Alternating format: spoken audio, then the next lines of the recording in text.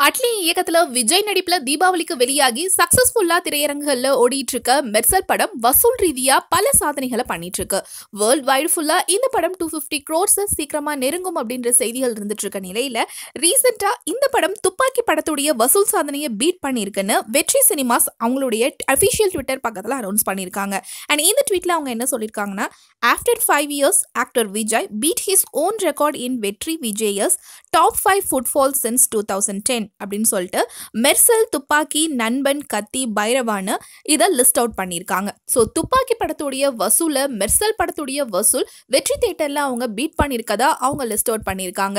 So இதனால already Thuppakki படம் தான் வந்து இதுவரைக்கும் தளபதியோட படங்களில் வெளியான படங்கள்லேயே ஃபர்ஸ்டாக ஹண்ட்ரட் க்ரோர்ஸை தொட்ட படம். ஸோ அந்த ஒரு சாதனையை இப்போ மெர்சல் படம் பீட் பண்ணியிருக்கு அப்படின்ற ஒரு இன்பகரமான செய்தியை தளபதியோட ஃபேன்ஸ்க்குலாம் கொடுத்துருக்காங்க வெற்றி சினிமாஸ். இந்த மாதிரியான நிறைய சினிமா அப்டேட்ஸ் தெரிஞ்சுக்க ஃபில்மி ஃபோக்கஸை சப்ஸ்கிரைப் பண்ணுங்க.